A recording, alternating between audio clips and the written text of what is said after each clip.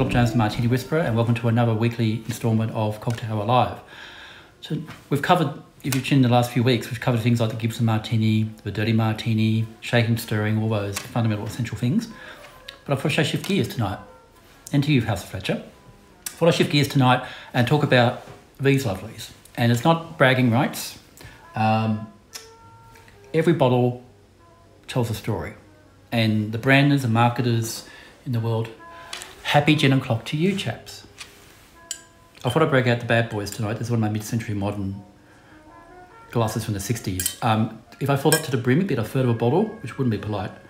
Um, so I'm keeping it tidy. Here's to you. Cheers, everyone. It's a long weekend locally, so let's make the most of that. Titian. So what I thought I'd do, something a bit different this week around, is to talk about five or so spirits from my collection. And um, I'll give you a bit of a guided tour.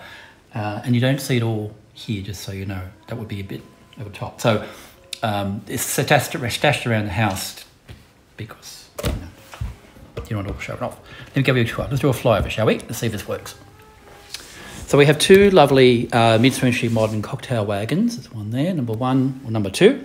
We also have a bit of a stash in there, emergencies. Now you've got to bear in mind, I can't drink all this, nor would I want to. I like to share it. The whole point of people sending me things to review or to critique um, is through education. I see myself as someone who sits between the distiller and your fine cells and the general market and uh, can extrapolate and educate and advocate on the part of distillers.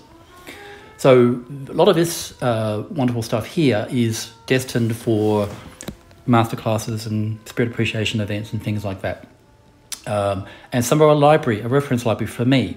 So if I'm looking, uh, so I get a gin to review or vodka to review, I've got a, a, bit of a spectrum here of other things I can refer back to. So believe it or not, this is a spirit spring clean. I got rid of about 20 bottles. I'm going to make way for a new season of releases coming through.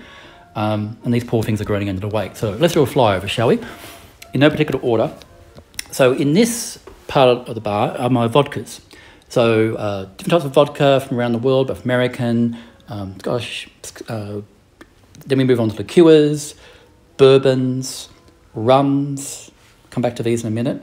Um, some single malts, including some rare releases, which I'm going to touch on today as well. Then we go down below here, and these are my mixes. So we've got Amaros, vermouths, uh, aperitifs, um, ports, sherries, and some very interesting sort of obscure ingredients. So that can be a little fun little treasure trove. I'm looking to make a little cocktail or something out of that. Um, I kind of dive into there.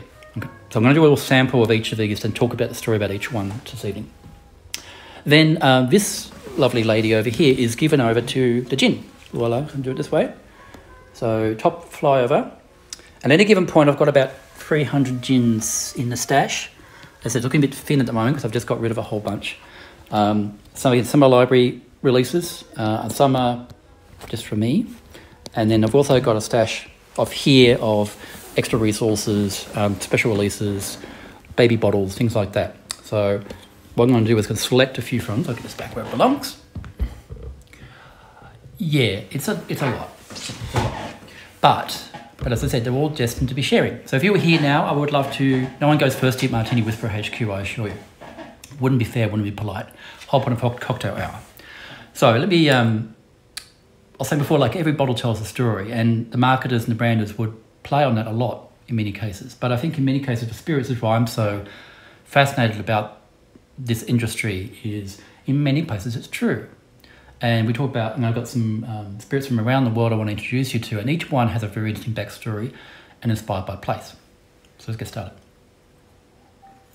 If you've got a question along the way, of course, or you want to talk, if you see something along here you want to get know about, just let me know and I'll dive in and see what I can do. No particular order, Ice by my little eye. Let's start with vermouth. This is Made Maidenii Vermouth. I know the label's back to front for some reason in the broadcast, but um, this is their sweet vermouth. Some of you may have seen the dry vermouth um, in, used in martinis in bars around Australia. And I've got a soft spot for this particular release for two reasons. One is, way, way, way back again, before I became Martini Whisperer, I had a little blog thing called Canberra Martini. And at uh, about 2012, 2013, they're looking to have Hunt Canberra's 100th birthday. and I was invited to create the official martini for the occasion. So it's right up my alley.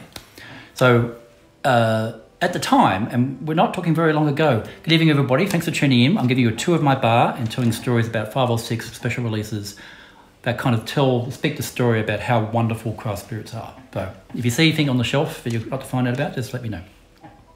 So yes, we're talking about Maidenii Sweet Vermouth. So even not that long ago, we're, not, we're talking eight years or so, there was a handful of gin makers and one vermouth maker in Australia. And of course, I wanted uh, always straight ingredients just for the national capital's official uh, martini. Long story cut short, I wrote Blind off to Maidenii, a whole bunch of other gin makers, and West Winds, some WA, came back, said, "Yep, we love. We don't don't know who you are, but we love the idea. We'll get behind that." And Maidenii as well. So I created two versions of this uh, so-called Centini, Centenary Martini, the Centini called, North Side and South Side version and that's a a Canberra joke because we've got a lake and people are very tribal about which side of the lake they should sit on. Anyways, we had it, it just snowballed. It got bigger and bigger and bigger and bigger. And next thing you know, we had our like equivalent of a premier chief minister launch it. Uh, we had all the media attend. I had a special glass uh, set made by a local glass artist called Peter Minson. We raised, we ended up having a black tie ball, at the National Press Club, and everyone looked fabulous and all dolled up, and we all drank my Centinis, uh, North Side and South Side versions. And um, and just for just for the uh, so you know the recipe that used this one for was the south side. So that was a one to three ratio of sweet vermouth to the West Winds Cutlass gin, which is a very punchy navy strength gin, bush tomato um, uh, with an olive, and it was a hit on the night. But that's one story. The other story just simply has as a product in its own right. Um, so it uses um, a whole bunch of native ingredients like wattle seed and strawberry gum and it's one of those few really luscious things you can just drink, frankly, by itself. It's just beautiful. It's got a beautiful strawberry aroma to it. Um, and traditionally, of course, in Europe, vermouth is drunk chilled or on ice. Um, and this is a really, really that, such a stellar ingredient that um, you can do the same. It's just very gorgeous and aromatic. So, but remember my pro tip about vermouth: once it's open, you do need to keep it chilled or I vacuum seal it. Um, and I've just got it out here for the, this evening. So, Maidenii, free vermouth, number one. Where shall we go next? We talk about whiskey. Are we got any whiskey fans here? I hope we do. Because I talk about gin and vodka, but I actually do a fair bit of work around whiskey. Cheers, everyone. Doing a tour of my bar and about five or six spirits this evening. Something different. Down near the um, Victorian border on the Murray, g'day Kath, is a place in Corowa. Beautiful little town down the banks of the Murray. Uh, it'd be about close to four hours drive from where I'm sitting and there's a fantastic old flour mill. And back in the day, it was pretty much dilapidated. And the guys from Corowa Distillery, uh, they were able to take it over for about a buck and had to resurrect it. Um, so it's a really fantastic industrial heritage site, you know, five story high ceilings, beams. They make chocolate there as well. And they released their own whiskey, among other things. Now, but this is not just any whiskey. Um, the thing to note about here is the age. It's 17 years old. And for an Australian single malt whisky, that's extremely rare. Because although we've been making whisky off and on for hundreds of years in Australia, um, it's only in modern times that we're getting these releases now. So you are starting to get some 21 year old releases like a Pit of Sullivan's Cove, and that's, that's the clue here. So the industry, as I said, is very supportive and very collaborative, and these guys are just starting out. And the story goes that they were able to acquire a bottle of, sorry, a barrel a barrel of um, single malt whiskey from Sullivan's Cove in Tasmania, which, if you know your single malt whiskey, you know how exceptional that is. Uh, and they've, they've been releasing, uh, creating single malt whiskies from the get go in the modern era, the early, early 90s, mid 90s. Somehow or other, this washed up on their doorstep like an orphan, and hence it's called the Bastard Barrel.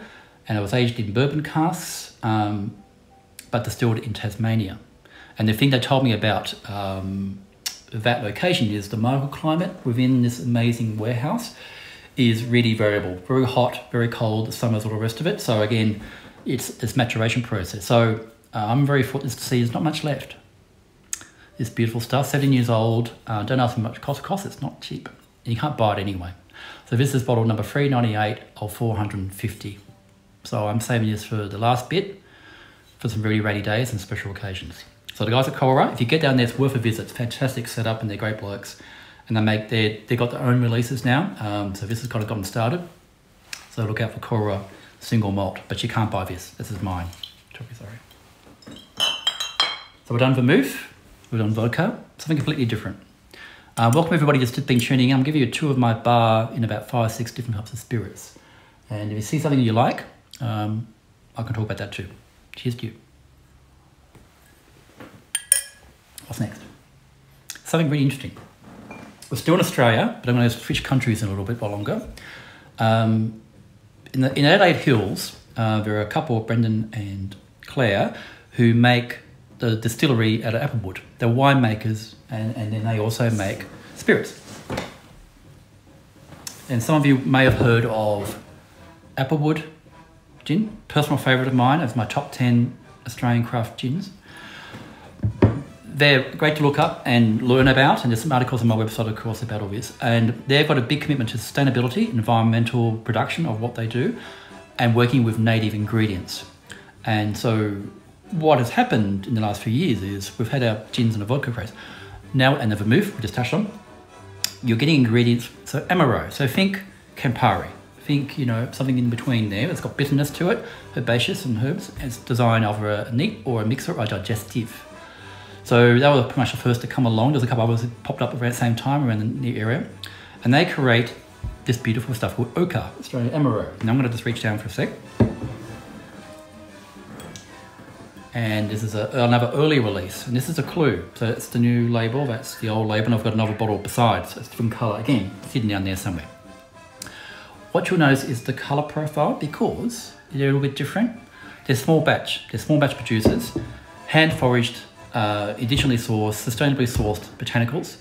And uh, this has for things like original label, bunyan, uh, Davidson plums, riberries, finger limes, strawberry gum, like the Maidenii Sweet from for example, peppermint gum, wild thyme, wattle seed, and other things besides. So you think of it as a very luscious, aromatic botanical Campari the better, without that really sharp bitterness to it. So it's just absolutely lovely. Um, but there's variation each year because if it's, if it's all seasonal produce. So you can actually now make your own Australian Negroni with your own sweet vermouth, an Amaro sits in the middle instead of your Campari, and of course any Aussie gin you like. So um, they're absolute geniuses and super lovely people to boot, and they make some really great products. So anything from Applewood, I love um, but look out for Okar as well. So again, if you want to make your own Australian Negroni, that's the stuff you want. Very distinctive flavour profile. It's not like you'd expect, but it's just gorgeous. Okay, so we've done little tour here. We've done this little trolley here with my vodkas, single malts. We could talk rum a bit later, vermouths in our mixes, ouzos, etc. All sorts of good stuff hiding in there. Shall we talk about gin? Let's talk about gin.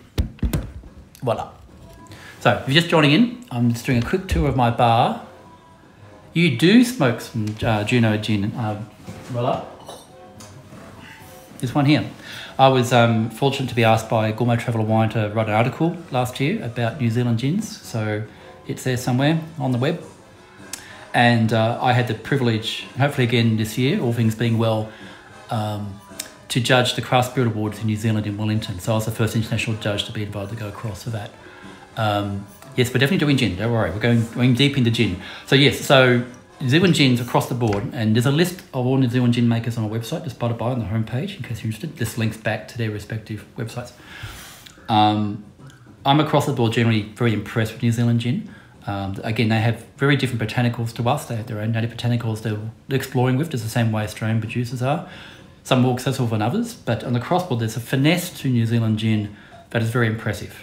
Um, and fun fact about these guys is very clever. Um, they're uh, they're partnered with Massey, Massey, I'm going to say this wrong, Massey. They're at Taranaki, Massey University to identify great sources of juniper. Um, to then clone the DNA to have the best commercial plantations of juniper berries, which seems like why aren't we doing this? So Juno, really good. Um, again, they use uh, the Manuka leaves and um, their own version of pepperberry. Um, what's it called? Uh, I got it wrong. I'm going to say it's called Horopito or something like that. Horopito, excuse my, um, my mispronunciation. But uh, terrific stuff. And they do a lot of seasonal releases as well. Anything New Zealand. I like Scapegrace as well. Um, it's another exceptional release. So yeah, you're right. All spotted. one um, of the gins I want to talk to you about is I spy my little eye. This one here. This is a long way from home. This is all the way from Santa Fe, New Mexico. Uh, Wheeler's uh, dry gin, Western dry gin. Now, if you follow me on Instagram, you know a bit of just two things. It's green chili uh, martinis, clearly, and um, oh, you're welcome, Faye Babe. Um, where was I? Yes, and I got to go to New Mexico a couple of years ago, and it felt like a second home to me. It's for uninitiated, it's between Texas and Arizona. Santa Fe itself is quite high up, it's about 10,000 feet up. Uh, desert climate, beautiful, gorgeous city, lots of museums and galleries and great bars, and this distillery. And they have, uh, and they gave me a very generous day with them um, tasting, and they've got a gorgeous little tasting room downtown Santa Fe. And I made a martini because I had to, using their ingredients and things like that. So I love chili there, so I had had a good time, shall I say. But this is very, very distinct um, because it's a unique climate there. Even in the distillery itself, it's quite high up, like I said. So the evaporation rate for the whiskey is huge. So they actually have a humidifier. Um, okay, Texas friends. Yeah, so if you can track this down, I'll tell you why it's interesting. I reckon friends from Texas will like this because I'm just reading from notes here. Um, so they, it's all hand foraged again, small batch, so small bottles, not huge production, and they use local juniper, a white desert sage, uh, cholla cactus blossoms, and an osha root. I'm saying O S H A, which is um, traditional Native American herb, apparently uh, around Taos, which is north of um, Santa Fe. They noticed that the bears that come out of hibernation would eat lots of it, and it's quite good for you, apparently. So, um, this is a very hard to pin down and describe. It's not like super herbaceous, uh, but on the palate, it's quite rich, and you're getting these beautiful kind of sweet sort of cactus flavors. Um, and it's just absolutely gorgeous. And the sage notes really, really come through. So, question: uh, Do I record these? I absolutely do. Absolutely do. So this will be saved. It'll go on my YouTube channel on Wednesday evening about five o'clock. So look up. Oh, there's about 40 videos there. So I've got little video clips on just quick reviews, and also I keep these things because I figure people can't stick around all day. So yes, this is saved, and it will end up on my YouTube channel. So um, this is just I save this clearly for special occasions. It's just really, really special. It's not a martini gin at all. It's a sipping gin. Um, and if you go to Santa Fe, you're welcome. Special place. Moving on. Let's go to Germany.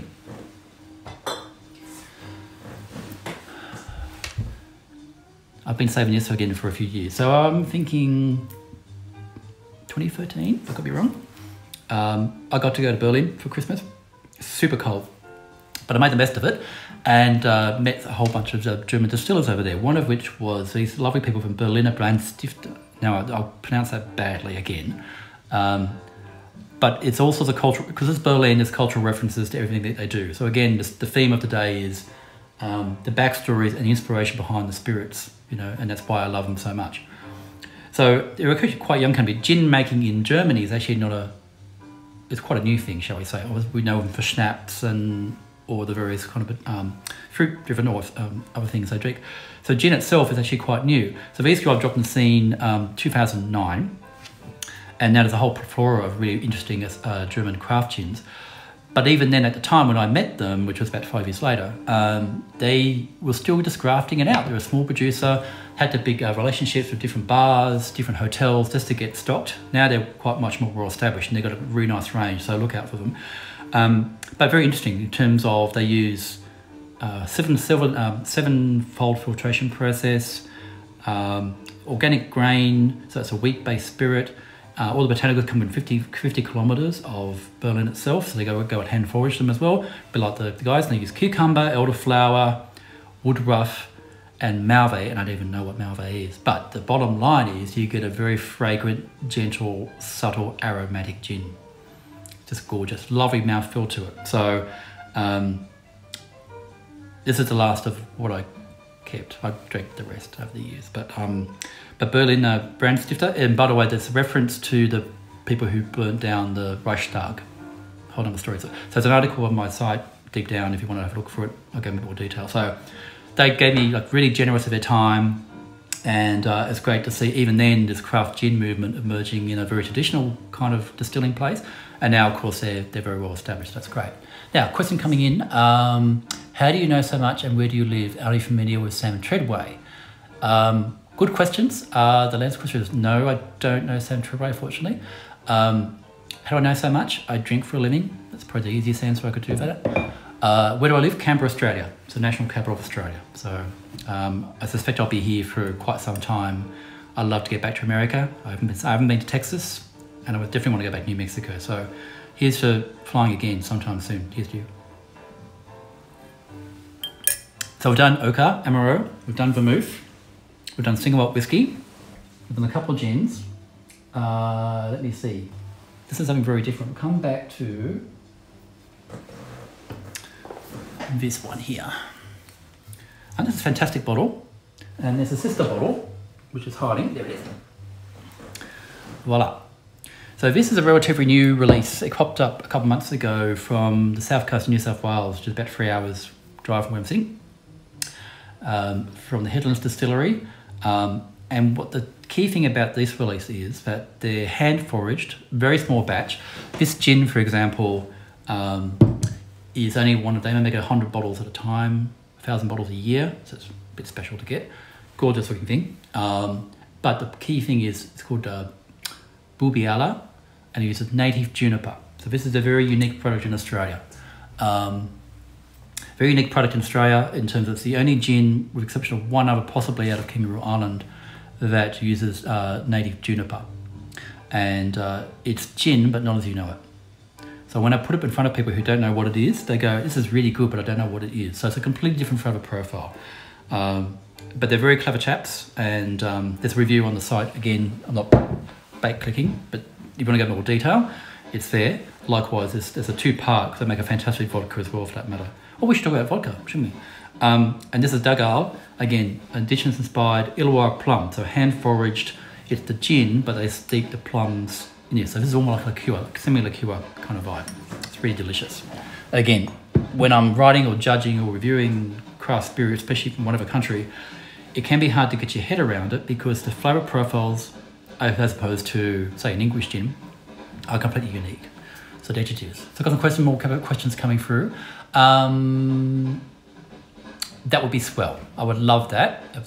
Is the juniper Jamo native? It is. So it's it's um the question was, is the juniper they use native to Illawarra? Yes, it is. They actually go out and get it themselves. It's very different. It's quite a green little thing. It's not purple like a juniper berry. So yeah.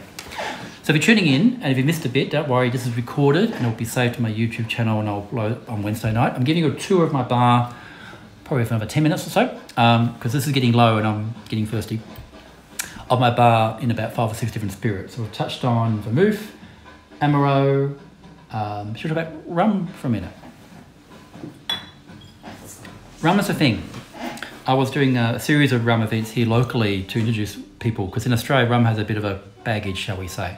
Um, but there's a whole new wave of people who make great rums in Australia uh, in the last several years and really needs to be really looked at as a whole new spirit category because it's so versatile.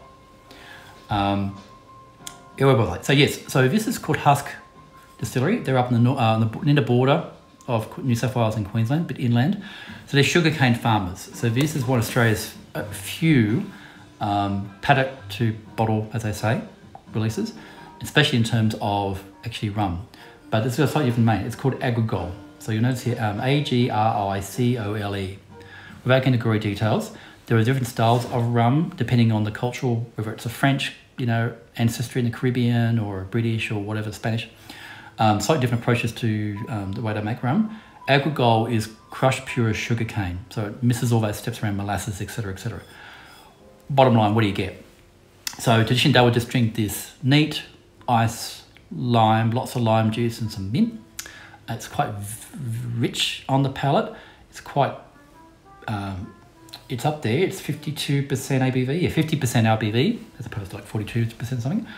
So you know you're drinking it. It's good for a mixer, um, but it's a unique product. And these guys are a family-run business. You can go visit them, uh, I think now, and um, gorgeous product. They make a few different things, but the Agricole is unique in Australia. So I love introducing this to people when I do sessions because it's such an outlier in terms of other styles. But people might be familiar. Should we do one for the road? I'm not going to take requests now. Um, do you want to do another gin, whiskey, vodka, rum? What would you like to hear about? Ask away. Yours always done. Do two of my bar. We'll do a fly round again if you want. Jamo Centre. Good for you. So, mixers down here. All sorts of ones, varieties. Again, this is not everything, but this will keep me out of trouble for another few weeks, I think. Gin, gin, gins around the world, all gins down here, and I've got secret stashes around the house for a rainy day. Question was, what are my top three gins? Oh, God.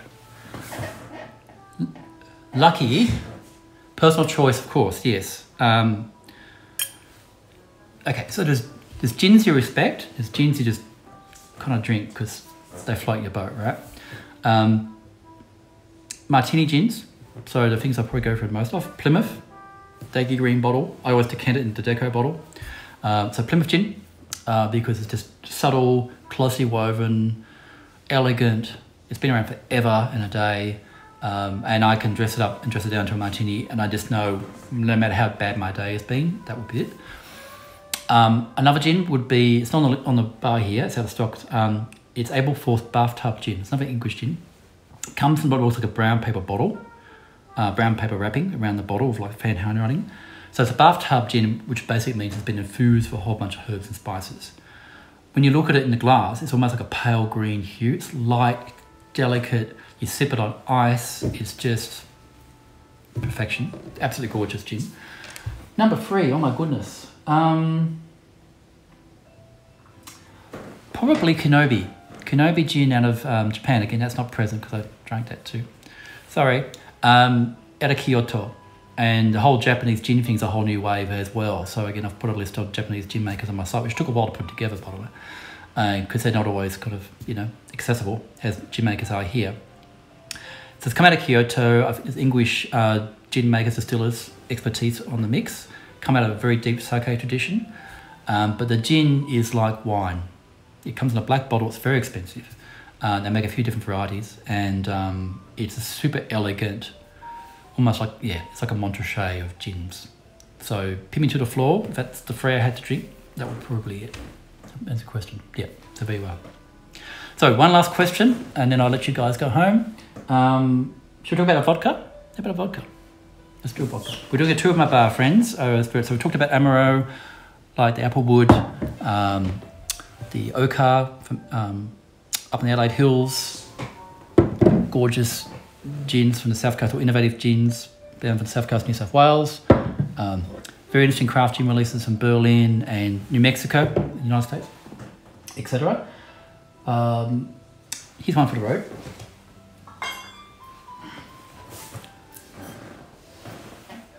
come back to your um, question about uh, free pillars in a, in a moment, if I may.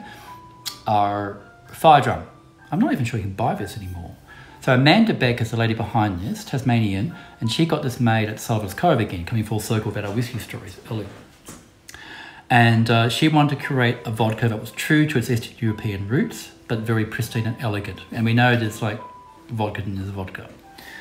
So the net result is it's a very organic very malty kind of, so really grainy, toasty grain, a lot of rye notes on the top. But it's been uh, charcoal filtered several times, I think five from memory. And um, so you get a really pristine, clean vodka, so you're not going to feel it too badly, but you've got lots of luscious flavour notes. So this is a very sipping, it's not a martini vodka, it's a sipping vodka. So if you're a gin drinker and you hate vodka, you may want to think about trying this. Um, it's fine, it's fantastic. I really like it. Um, four pillars uh, four pillars. Four pillars. Um, before I get to it, fun fact. So I bought the first one of the first hundred bottles of Four Pillars ever released. They did a possible crowd-funded kind of thing back in the day. Uh, went, oh my god, it's exciting because it's just again when Australian gins were just starting to take off, and I just had my blog. I was just getting started, so I got bottle number hundred, no, number eleven or something like that. Very excited, and uh, I've met the guys and been there, and that's all fun they can look after themselves in many ways. I don't talk about them too much simply because they've got the marketing budget and they've got the people behind them and you know I like telling the story about the people who maybe, you know, these are small operators, husband and wife teams, rural region Australia, single person operations. So I kind of see myself as doing my bit to tell their story, while at Four Pillars can really kind of look after themselves, if you know what I'm saying. Um, that said, that gin, um, I think the trend is really what I might call sipping gins. So, you know, martinis are great and gin tonics are fun. But if it's got richness and viscosity and complexity, then just drink it on a nice big cube of ice, big chunky cube of ice, and see how you go with that. There you go. So I might just leave that there, my friends. We've had fun. I hope you enjoyed yourself. Um, I could go on and on and talk about my bar, but that'd be embarrassing. So, here's to you and yours. Happy long weekend if you're a local. Um, if you're overseas, here's to better times. And again, thank you so much for tuning in.